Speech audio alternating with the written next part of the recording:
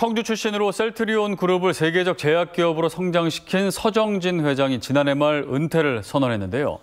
서 회장이 전국 9개 민영방송과 KTV가 공동 제작한 대담 프로그램에 나와 코로나 팬데믹과 자신이 꿈꾸는 인생 2막을 얘기했습니다.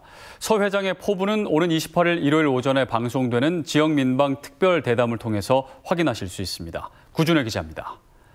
시장은 서정진 셀트리온 그룹 명예회장은 변이 바이러스가 조속한 코로나 종식을 위협하고 있다고 진단했습니다. 특정 백신에 대한 우려에 대해선 누구나 독감 초기 증상을 경험할 수 있다며 가장 빠른 백신이 좋은 백신이란 견해를 밝혔습니다. 세계 세 번째로 개발해 유럽 사용 승인을 앞둔 셀트리온의 코로나 치료제를 국내에 제조 원가로 공급하겠다는 약속을 재확인했습니다. 제약이 들어왔을 때는 이걸 비즈니스로 생각하면 안 돼요.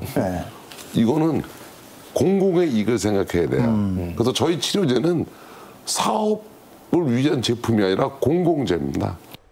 외환 위기로 대우그룹을 퇴사한 서 회장은 당시로서는 생소한 바이오 시밀러 분야를 개척해 20년 남짓 만에 셀트리온을 세계 30위권 제약사로 키웠습니다. 지난해에는 국내 주식 부자 8위에 올랐습니다. 2030년이면 셀트리온이 세계 10위권 제약사로 성장할 것이라고 내다봤습니다. 자동차 판매원이 이룬 예상 밖의 성공 비결은 이렇게 설명했습니다. 많은 우리 젊은이들이 뭘 하고 싶으냐 그러면 지 전공이 뭡니다 이렇게 얘기하거든요.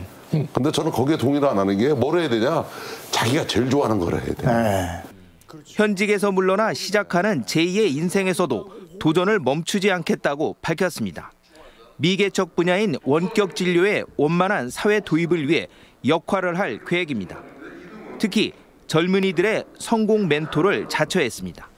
젊은이들하고 이제 새로운 걸 또 만들어 나가는 거예요. 그러면서 젊은이들하고 같이 대화를 계속 하고 싶어요.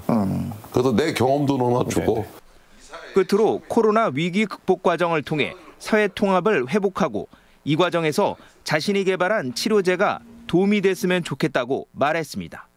CJB 뉴스 구준혜입니다.